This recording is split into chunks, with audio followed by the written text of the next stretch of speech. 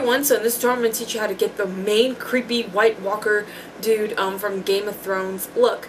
And I um, was totally inspired to do this look by a makeup artist named Robert, and I don't know if I should say his last name, and I can't even pronounce it if I wanted to, but Cinema Makeup School, he attends the school, and they posted a picture of his airbrush final, and it was so cool, and the dimension on the neck was just amazing, so I was like, I want to try that, practice it, and I was practicing, and I was like, you know what, I'm just going to do a tutorial doing it, because I know a lot of you guys would like to see how I recreated this, so totally inspired by him, if you want to check out his Instagram, link will be in the down bar below, he's under Father Grim, and he's really, really talented guy. So I'm going to let this tutorial begin. Please give it a thumbs up if you like it. Giving it a thumbs up helps my tutorials do well, and make sure you subscribe if you aren't. And every Wednesday I'm going to be putting up creative looks, and on Saturdays, wearable looks. So this Saturday I'll have a wearable look up for those of you who hate Halloween all year round. How can you hate that?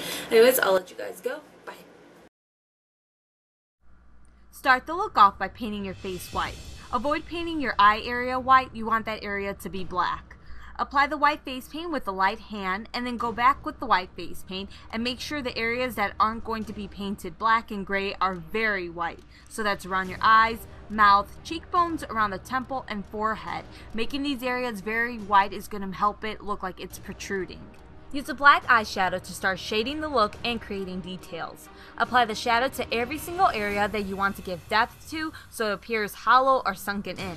Apply the shadow to the edges of those areas and then let it fade out.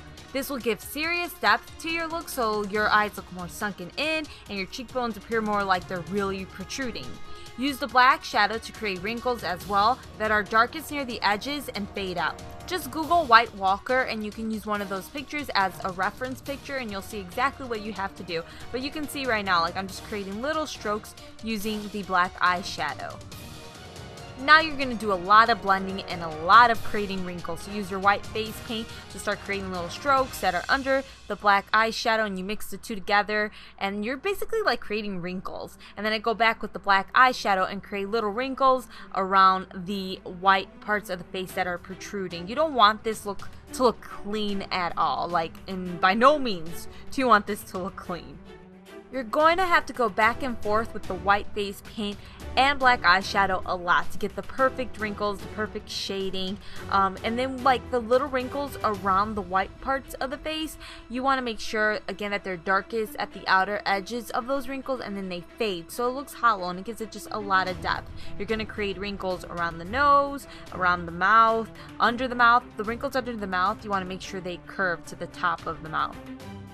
Make sure you create those two little curves or wrinkles, whatever you want to call them, where the brow is so the brows appear very prominent, like he has legit prominent eyebrows, which are going to help your eyes look sunken in. And in the hollow areas of the face, you got to make sure you're creating little strokes again in that area that kind of look like wrinkles or veins. I'm not even sure what you want to call it. And around the nostril, you're going to go ahead and use your black face paint to draw on the nostrils that are very similar to him. Again, just keep referencing a picture because that's really all I can tell you for this look. I can give you the basics of what I used and go over what I did, but for the majority of it, it's just constantly going back and forth using white face paint and black shadow to create the wrinkles, the veiny looking things.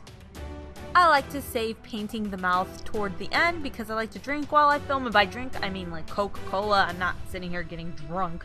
But yeah, I paint my mouth kind of toward the end. And then I go ahead and start painting the neck. And you paint the neck the same way you paint the face, except I used a gray face paint, so I mixed the black face paint with a white face paint to create a gray face paint, and I used that as the base color for each hollow area just because the neck areas are just so much bigger than your face and you have to paint a larger portion. So it's easier just to use paint and then go ahead and use the black eyeshadow to start adding the details and that fade that creates that gradient effect and lots of little wrinkles. And again, I want to say the neck was totally inspired by Father Grim on Instagram. Um, Robert, I loved, absolutely loved the neck. The, the neck was so awesome to create something like that with airbrush. It was just like, oh, I wanted to try it. And I didn't do it justice, but um, I'm pretty proud with what I accomplished.